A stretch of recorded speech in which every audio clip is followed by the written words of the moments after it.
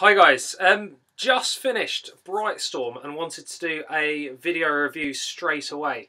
Um, it is obviously a book that is extremely popular at the moment. It's a book that is doing the rounds on Twitter and it's a book that has been voted for the primary school book club book of the month. So um, it's one that seems to be very much on the tip of everyone's tongues. Very much a book that is being read by, well, loads of people, but a lot of primary school teachers. Now, I must start by saying I approached this book with a degree of cynicism, and that's not because I had any um, preconceptions about the story. I just, it just wasn't the sort of genre that I typically go for in a book. I am somebody that generally likes things that are real, so things that are truly believable and I tend to focus on books that sort of have that content themselves. However, this is a turning point potentially for me. I absolutely loved it. You shouldn't judge a book by its cover, and that is a, a saying that does ring true. However, if you look very closely at this cover, this is an absolutely beautiful book. Now, anyone that's held this book, anyone that has purchased this book and owns it, will know what I mean. It is a work of art, this book. It is a book that has a truly beautiful cover. It's a book that, on the inside flap, opens up and gives you a map of the story, some of the sort of key aspects of the story, some of the key locations, things that I found myself flipping back to quite a few times throughout the story. But it's a really beautiful book. Now, onto the story. It is a story that focuses around the journey of two children in a skyship. Now that sounds a little bit far-fetched, but let me tell you a bit more about it. So, you've got two children, you've got twins, Arthur and Maudie. They essentially, they essentially have grown up in the household of a father, Ernest Brightstorm, who is an avid explorer. He is a skyship explorer. He's not from the sort of traditional explorer's background, but he's someone that's extremely ambitious, extremely talented, and extremely motivated to explore the far-fetched areas of the universe. Now,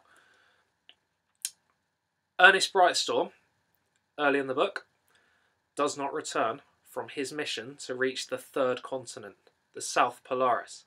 Now, this is something that has a huge impact on Arthur and Maudie. I repeat, Arthur and Maudie are twins.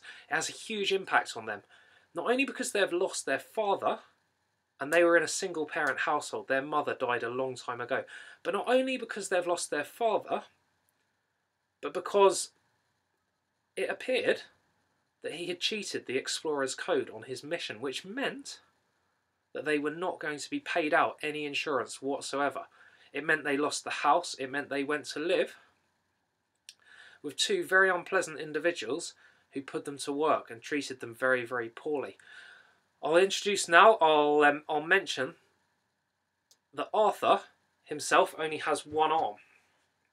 So he finds things very difficult. And his sister, his twin sister Maudie, has produced an iron arm for him. She's someone that has been very inventive from an early age. She's someone that is is very clever, very imaginative, and has those sort of engineering traits. Now, before we go too deep into the story, what I will say is there's some lovely, lovely sort of aspects of this story which I haven't seen in too many others. I love the fact that the story focuses around two main characters, which are a set of twins.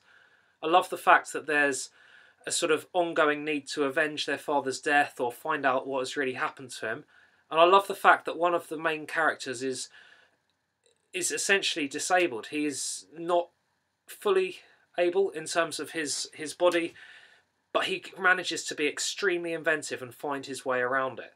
Now, essentially, an opportunity arises to escape the new situation that they've found themselves in with the very unpleasant family who have put them to work.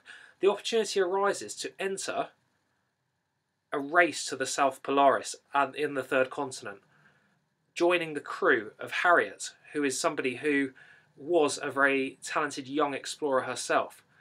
The opportunity has arisen for Arthur and Maudie to join the crew and race to the third continent. Now, whilst most people on the crew are motivated to reach the third continent for the glory of it and the prize fund of it, Arthur is fully motivated to find out what has happened to his father. He doesn't believe that the story is true. He doesn't believe his father would have ever cheated and stolen fuel.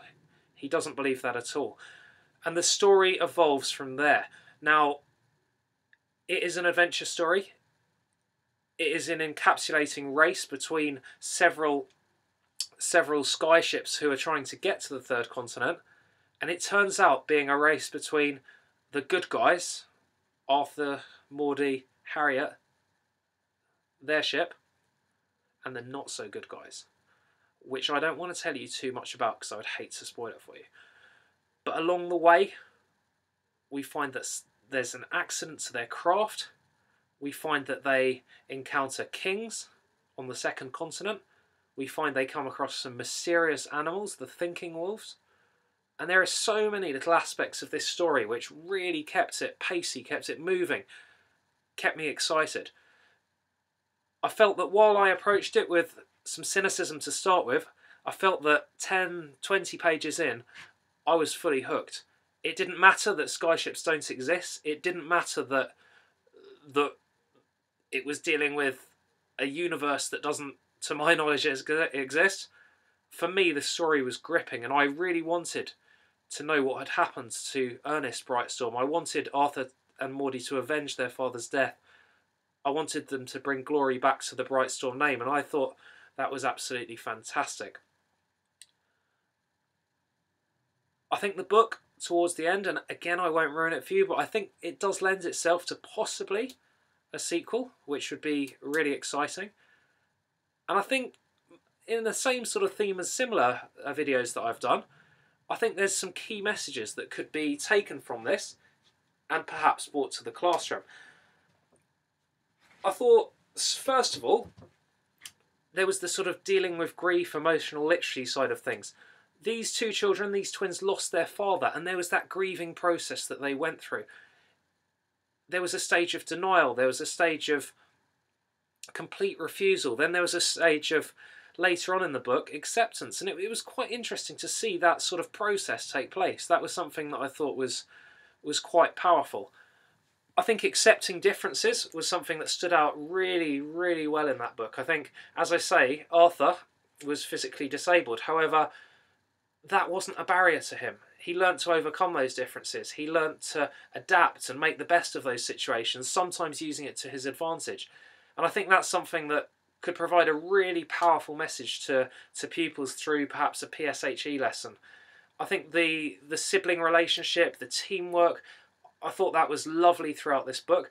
I think there are some really good examples of leadership and how, how to work coherently as part of a team.